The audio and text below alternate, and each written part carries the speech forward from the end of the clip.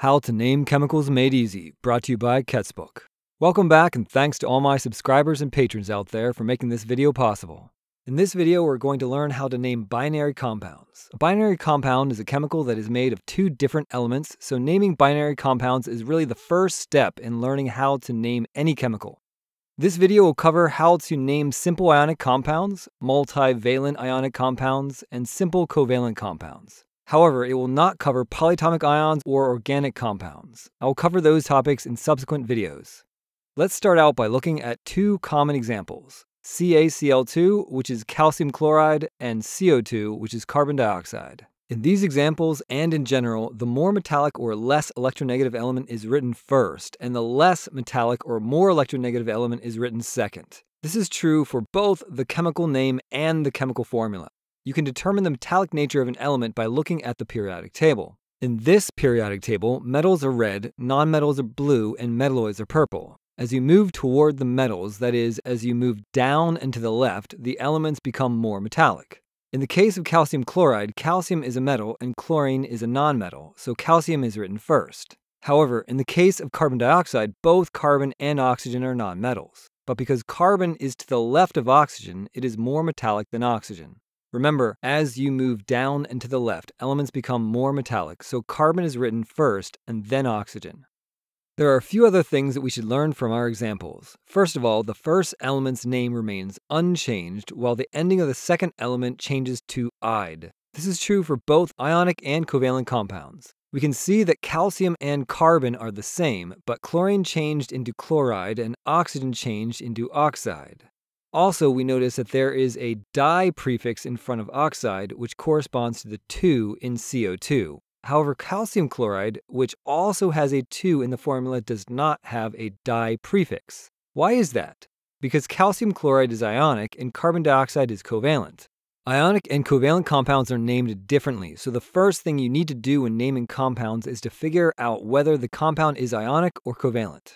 Ionic compounds are typically made of a metal and a nonmetal, just like calcium chloride, while covalent compounds are composed of only nonmetals or metalloids, just like carbon dioxide. Ionic compounds do not use prefixes, but covalent compounds do use prefixes to indicate the numbers in the formula. Let's focus on covalent compounds for a minute.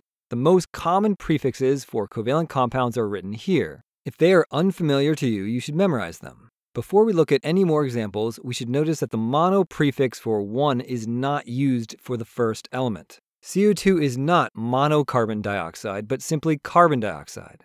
In the same way, BF3 is boron trifluoride. The mono prefix is not used for the first element. However, mono is used for the second element. For example, N2O is dinitrogen monoxide. In that case, there is a prefix for both elements. Notice also that the mono lost its last O. It is not dinitrogen monooxide. In general, an A or O at the end of a prefix will be dropped if followed by oxygen. So P2O4 is diphosphorus tetroxide, not diphosphorus tetraoxide, because the A is dropped. Let's try a couple more. How would you name B2S3? Yes, diboron trisulfide. And what is the formula of arsenic pentachloride? That's right, AsCl5. As long as you know the prefixes, you can name any binary covalent compound. But what about ionic compounds? Remember that CaCl2 is simply calcium chloride. In general, ionic compounds do not use prefixes. That means that Li3N is simply lithium nitride and Al2S3 is simply aluminum sulfide. But how can you figure out the formula from the name without prefixes? We can use the octet rule. The octet rule basically states that main group elements tend to gain or lose electrons in order to have the same number of electrons as the nearest noble gas, which is typically 8 valence electrons. So, in forming ionic compounds, elements with 1, 2, or 3 valence electrons will lose all their valence electrons, giving elements in column 1 a positive 1 charge, elements in column 2 a positive 2 charge, and then skipping the transition elements, aluminum forms ions with a positive 3 charge. Carbon has 4 valence electrons and generally does not form single atom ions, so we will skip the carbon column. Nitrogen has 5 valence electrons, so it will gain 3 electrons to become like neon and have 8 valence electrons. Because electrons are negatively charged, those 3 electrons will give nitrogen a negative 3 charge. Similarly, oxide has a negative 2 charge and fluoride has a negative 1 charge. In general, all elements within a column will form the same charge ions unless you cross the metalloid staircase. Let's try some examples. What is the formula of magnesium fluoride? Magnesium in column 2 typically forms positive 2 ions, and when you write the formula of the ion, it should be Mg2 plus, not Mg plus 2. Fluoride is in the next to last column, so it should have a negative 1 charge, which we write as simply F minus, not as F minus 1 or F1 minus. So how do the charges lead us to the formula? Well, all compounds need to be neutral, so we need to balance the charges of the ions. In this case, magnesium has a positive 2 charge, but fluoride is only negative 1, so we need 2 fluorides for every 1 magnesium in order to have an overall charge of 0. That means that the formula of magnesium fluoride is MgF2. No subscript after Mg means that there is only one magnesium in the formula, and the 2 after the F means that there are two fluorides in the formula. Now let's pause and think about how the formula of the compound is related to the charges of the ions. Notice how the 2 charge of magnesium becomes the subscript of fluorine, and notice how the 1 charge of fluoride becomes the implied 1 subscript of magnesium. This is a general principle. The magnitude of one ion's charge becomes a subscript of the other element. Let's try a couple examples. What is the formula of aluminum oxide? Aluminum ions have a positive 3 charge and oxide ions have a negative 2 charge. That means the formula of aluminum oxide is Al2. The 2 comes from the oxide's charge, O3, and 3 comes from aluminum's charge.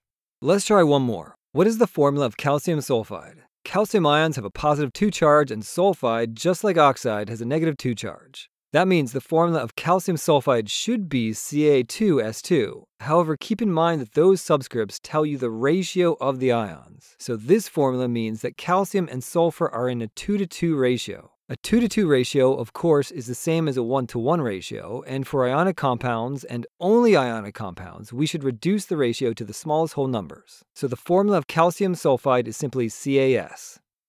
Okay, we're almost done with how to name binary compounds, but what about all those metals in the middle of the periodic table? It turns out that they do not follow the octet rule, and most of them can form more than one different stable ion. Therefore, we will call them multivalent ions. For example, iron can form positive 2 or positive 3 ions. When combined with chloride, for example, the iron 2 ions make FeCl2, and the iron 3 ions make FeCl3.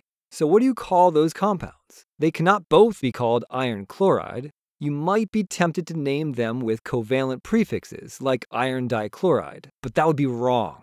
Instead, multivalent ionic compounds are named using Roman numerals for the charge of the metal. So FeCl2 is called iron 2 chloride, and FeCl3 is called iron 3 chloride. Remember that the Roman numerals indicate the positive charge of the metal ion, not any number in the formula. Just in case you're not familiar with Roman numerals, here's a list of the ones you need for naming chemicals. Let's try a few examples. What is the formula of copper 1 phosphide? First, we write down the ions. From its name, we know that copper 1 has a positive 1 charge, so that's Cu+.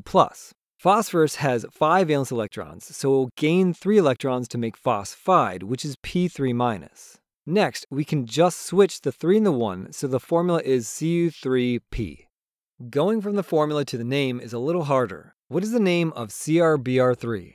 Because we don't know the charge of chromium in this compound, it is important to first calculate the total negative charge of the anions. Bromine is a halogen in the next to last column of the periodic table, so bromide has a negative 1 charge. The 3 after Br means that there are 3 bromides in the formula, so the total charge of the anions is negative 3. That means that the total charge of the cations must be positive 3 in order to balance the charge. Since there is only one chromium in the formula, its charge is positive 3. That means that the name of CrBr3 is chromium 3 bromide.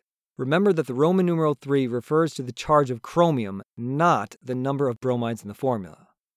Now, anytime you learn something new, you really need to practice it to make it your own. So I'm going to give you three chemicals and I want you to try to name them. I also want you to determine the formula of a binary compound of iodine and barium. I'll even give you the periodic table to help you out. Please pause the video now and solve these problems using everything you learned in this video. Alright, now for the answers. Before you begin, you first need to determine what type of compound each one is. The first compound is an alkali metal and a nonmetal, so it is a simple ionic compound that obeys the octet rule. Keep in mind that the metals which obey the octet rule are primarily the ones in the first two columns and aluminum. Nearly all the other metals are multivalent. Since Li3N is a simple ionic compound that obeys the octet rule, it should not have any prefixes or Roman numerals. Its name is simply lithium nitride. The second compound is composed of two nonmetals, so it's a covalent compound. That means its name uses prefixes for subscripts, so its name is carbon tetrachloride. Remember that the mono prefix is not used for the first element. The third compound is a transition metal and a nonmetal, so it is a multivalent ionic compound. In order to figure out the charge of the manganese, we need to calculate the total charge of the anions. Oxygen with 6 valence electrons gains 2 electrons to form O2-, and there are two oxides in the formula. Remember the subscript 2 in MnO2 means there are two oxides for every one manganese. If we add up the charges of the anions, we get negative 2 plus negative 2 equals negative 4, and to balance that, the cations must have a positive 4 charge. Since there is only one manganese, its charge must be positive 4. Therefore, its name is manganese 4 oxide. The last compound is a nonmetal and an alkaline earth metal, so it's another simple ionic compound. Iodide, like all halides, has a negative 1 charge, and barium in the second column has a positive 2 charge. You may at first think that the formula would be I2Ba, but that is incorrect because the cation, or the more metallic element, should be written first. So the formula is BaI2, and the name of the compound is barium iodide.